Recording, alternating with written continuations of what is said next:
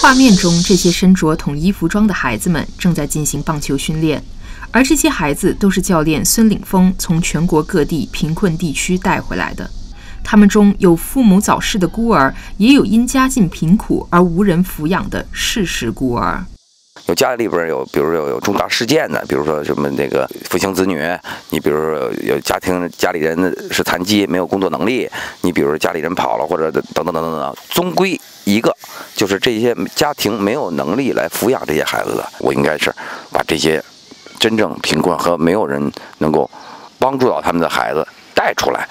最开始的资金就是我跟我们这个几个身边的朋友，完后边开始有一些志同道合的朋友们，他就加入进来。这个位于北京通州区的棒球训练基地的创始人孙岭峰是职业棒球运动员，曾担任过中国国家棒球队队长。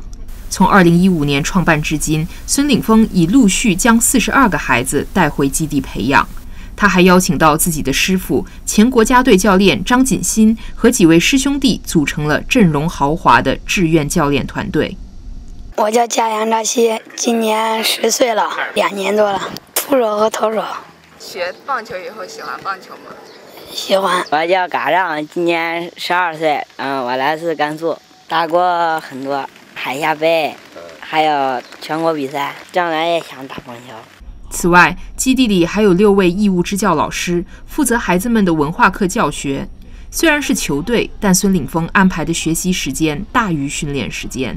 数学、语文、国学、英语四种课，每个孩子他的阶段不一样，根据每个孩子给他们进行教学。孙岭峰希望培养出的不只是运动员，而是全方位的棒球人才。就最好的目标，冲击世界顶级棒球运动员。第二个，就中中层面呢，中国所有的棒球专业队，还有世界上的一些。职业俱乐部，还有的一些大学都有这个棒球运动员需求，而咱们的孩子都可以去。